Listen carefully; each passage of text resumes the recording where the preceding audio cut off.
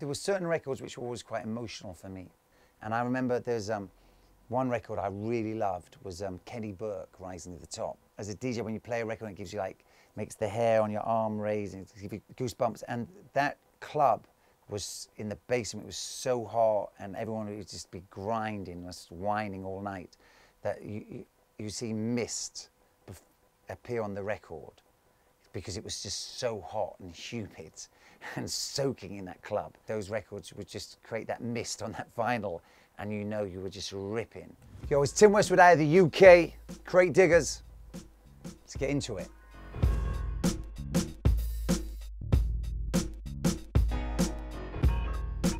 You'd have to have a box of dubs, man, if you were serious in the game. So this is an old Spragga Benz on the frog rhythm and dig out the red, lick off the head. That was a big like reggae record at the time. And what it is, that this artist, like this is Reggie Stepper on the Stalag rhythm, and this is Kuchunu was his record, but what he'd do, he'd voice this record and make it entirely about me. It'd be like, uh, like turning a record of his that he's made about whatever into a song about me. So he'd put my name in the song. And then when I'd be playing in a club uh, on a sound system, I could play this as, you know, to big myself up. And if it was the clash, I'd win.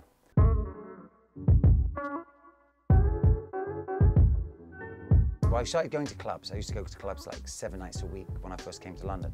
Like, just loved nightclubs, man. Just loved the whole environment, the whole experience. It was just like, just defined who I was. It was just so exciting. And then eventually got a job in a club, and that was collecting glasses working there, there was like a lot of different varieties of what was happening over, you know, different nights. But on a Saturday, there was this uh, legendary DJ from the UK called uh, David Rodigan. And just growing up in that environment, it was just the most exciting thing in my life. I just fell in love with the music, fell in love with the scene, the whole environment. And there was another legendary club at that period called um, the People's Club. Now, I used to go there a lot as a kid, and then I ended up DJing there, and I had like a legendary night there on a Thursday for years and it used to start like at 10 at night, but you know, get busy at four in the morning and shut like 10, 12 the next day. Praed Street is an area was like a lot of like, you know, a lot of like prostitutes, hoes and that. So all the pimps were down there. And just growing up in that environment was like, yo, this is just this whole different world. It, was just like the most fun I've ever had in my life. But I was, I was just a young kid. I was like 18 or whatever. And um, that started me as, as DJ. I used to earn 15 pounds a night. I used to have my records in cardboard boxes. I used to be on the night bus, coming home carrying them. And it was just like really hectic. For the gigs, this is how we used to travel to the gigs. Like we used to carry these, these are like four crates. So you'd, you'd need a team. At the time, the office was on the fourth floor. We didn't even have stairs. I didn't even have a lift, rather. Crazy. And this is, that's how much that weighs. And this is like how we'd be ripping it down, man. These are as they were. So yeah, so you'd be ripping through here, man, to, to find some records. See, this is the era. This is um, Jeeps, Lex, Coupes, uh, Beamers and Benz, Lost Boyz. This was the main set, man. I'd be ripping joints, baby. Ripping joints in here, man. Records which would have spun a lot are the records which are like you know, really dogged out. So these joints here, they would have been in the crates. And they go like that in the crates because um, when you're resting them on the crates, that's the side. So, you know, they're in the crate, you put them up like that to play or have their, and that's how they get worn here. And then there's always two copies. And then, you know, that's how they get, you know, badly treated. This is like uh, Raekwon criminology. This would be really spinning big in the clubs. Um, like I was never a DJ who like used to mark where the points were. I used to have it labelled what side to play. That was the easiest for me to throw a joint on. When I first started out, like it, it was like back when like Rapper's Delight had just come out, and um, I was one of the places I was running around with a sound system called JB's. It was like a PA system for hire, and they um, there was a big radio event for a station which was called Radio London that they used to do in Kilburn. I used to help them set up, or I used to go there mad early with them, and um, quite often, like before the main DJs arrived, and before there was anyone in there, I, I could just play the records. So I'd just have a little bag of records, play those, even though there was no one in there. Even it was just as the club was opening. That thrill I can still remember to this day. That gave me the real taste for it.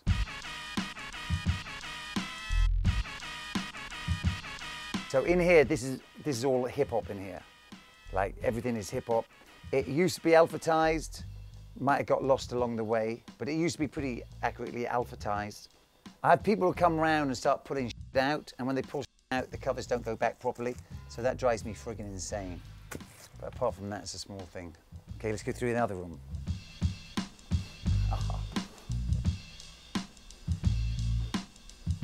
In this back room here, all this is reggae. Across here, this is reggae. Big labels like were Greensleeves, they were classic. Greensleeves had all the hits. And then there was another label called Dub Vendor, which put out a lot of hits. So, that, so that's reggae. And then over here is um, just more hip hop. And then, you know, these are joints which used to get used a lot, you know, Jay Z, like a lot of Roc-A-Fella. So, yeah, that's in here. And then lastly, more hip hop records. And then in those crates and crates of cardboard boxes are the seven inch pre's. I mean, I've got a lot of records, but my, my thing was, is that I was a working DJ and, you know, it was only records in those days. Like you had to have records and records were incredibly expensive. So like a 12 inch single in this country, it was like 12 pounds. But back then, I was earning 15 pounds for the night. So you could understand like how expensive this was. And you could understand like, yo, if, if there was heat out there and you had to buy it, best you don't buy the wrong records. And I, I used to buy doubles, triples, just because th these records were so rare and so important to me. What the reggae artists do is that they'll have a hot rhythm and there might be 10 artists who voice on it. And you've got to choose the hits because you're not going to play 10 versions of that one rhythm. You might play three and you're in the shop listening to records and like they have such, like if you don't buy them then and there, those reggae records you can't buy. They've just, they've gone. That's the end of the run. They might come back in a month's time, but if you're a hot DJ, you need that. So you'd be in there under tremendous pressure to buy the hits. Tremendous, because if you miss them then, you miss them. When I first started in the reggae man, the biggest thing over here was called Lovers Rock, and that was our UK version of uh, like sort of sweet, soulful reggae. And there was like classic artists out of the UK. Lovers Rock was never big in Jamaica. And the problem with a lot of those Jamaican records is that they used to repress the vinyl, but the problem when they repress the vinyl, they never used to take the paper off it. So they would just heat up the vinyl with the paper still on it from this label. And so a lot of those pre's used to be mad thick and not great quality because they had paper melted in to the vinyl because when they just recycled the vinyl. And another thing which was real big with reggae was the uh, 10 inch single. I don't know where this came from, but like that was the classic 10 inch single. They used to really love rocking it.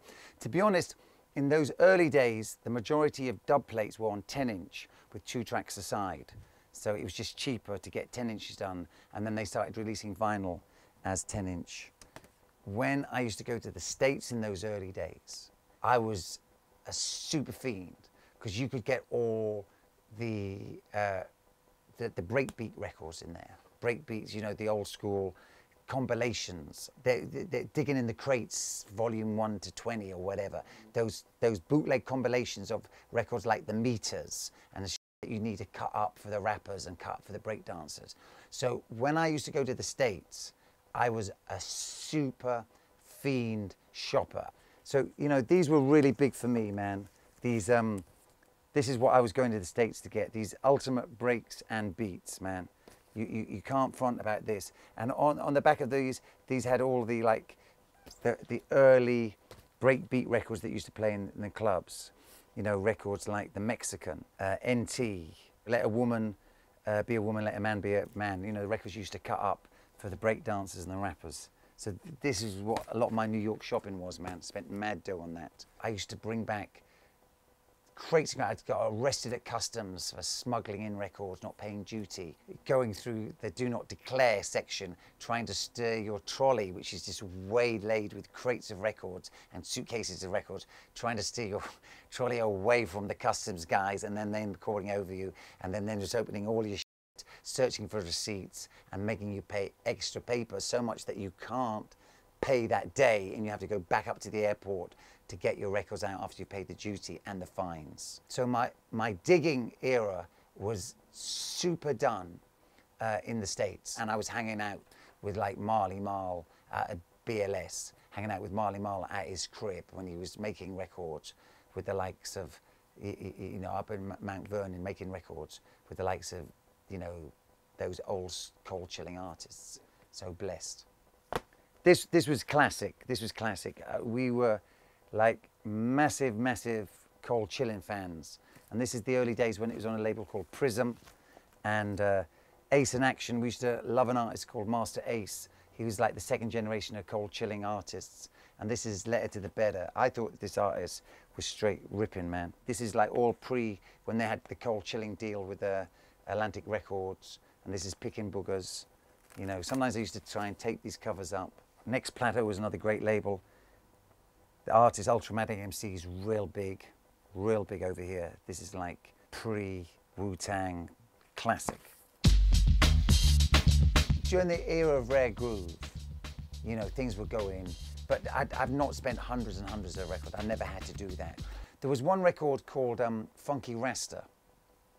I don't know, there was a, a, sound system which became a group called Soul II Soul. And um, they, they, they used to have this little slogan uh, what was it? a happy face, pumping bass, a loving race. That was their little slogan. And then when I was in the States, I found this record called Funky Rasta.